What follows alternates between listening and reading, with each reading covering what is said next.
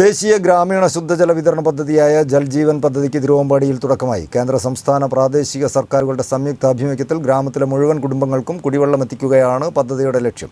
പഞ്ചായത്തിൽ നിലവിലെ ഗാർഹിക കണക്ഷനുള്ള വീടുകൾക്ക് പുറമെ മൂവായിരത്തി പുതിയ വീടുകളിലേക്ക് പദ്ധതി വഴി ഒന്നാം ഘട്ടത്തിൽ ശുദ്ധജലം എത്തിക്കാനാണ് പദ്ധതി.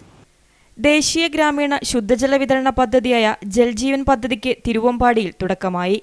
പദ്ധതിയുടെ ഭാഗമായി നടന്ന ശില്പശാല ഗ്രാമപഞ്ചായത്ത് പ്രസിഡന്റ് മേഴ്സി പുളിക്കാട്ട് ഉദ്ഘാടനം ചെയ്തു.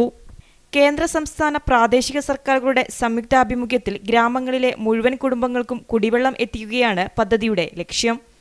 തിരുവമ്പാടി ഗ്രാമപഞ്ചായത്തിൽ നിലവിലെ ഗാർഹിക കണക്ഷനുള്ള വീടുകൾക്ക് പുറമെ മൂവായിരത്തി അഞ്ഞൂറ് പുതിയ വീടുകളിലേക്ക് പദ്ധതി വഴി ഒന്നാം ഘട്ടത്തിൽ ശുദ്ധജലം എത്തിക്കും.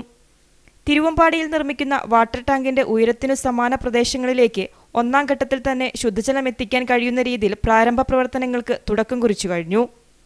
ഗ്രാമപഞ്ചായത്തിലെ കൂടുതൽ ഉയർന്ന പ്രദേശങ്ങളിലേക്ക് ശുദ്ധജലം എത്തിക്കാൻ മലയോരത്തെ പുഴകളിൽ ചെറിയ ഫിൽട്ടർ യൂണിറ്റുകൾ സ്ഥാപിക്കും.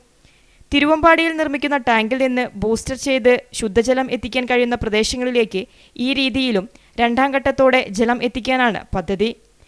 പരിപാടിയിൽ സ്ഥിരം സമിതി അധ്യക്ഷന്മാരായ Lissy Maliyakkal Ramachandran Karimbil secretary Bibin Joseph Muhammad Ali K M Lissy Sunny Radhamani Shiny Benny Manju Shibin assistant secretary A Manoj തുടങ്ങിയവർ സംബന്ധിച്ചു.